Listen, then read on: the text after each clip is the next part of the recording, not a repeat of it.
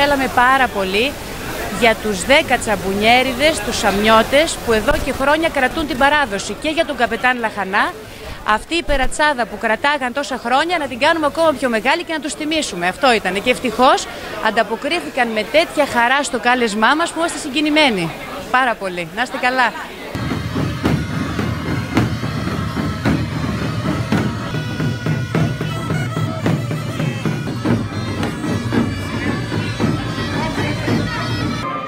Ήταν διακαής πόθος να έρθετε στις Κυκλάδες, γιατί έχω έρθει στα μέρη σας όταν κάνετε το Σεπτέμβριο την παλικάρικη συνάντηση πνευστών. Έχω έρθει και έχω δει.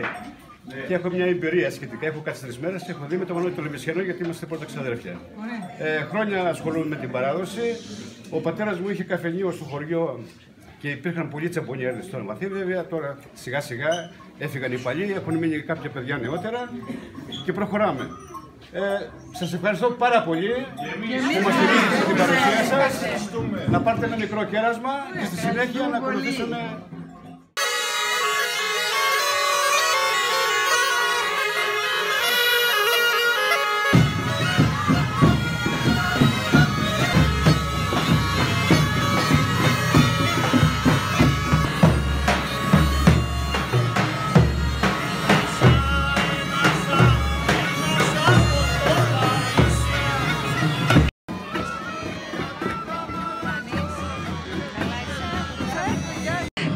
έχουν έρθει από νησιά, κυκλάδες, ε, πειραιά από διάφορα μέρη της Ελλάδας.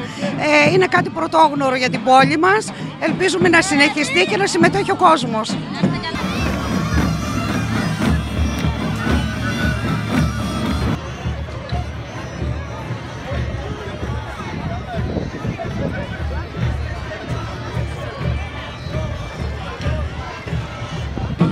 Το γαϊτανάκι θα του γουρέψουν τα μικρά παιδιά.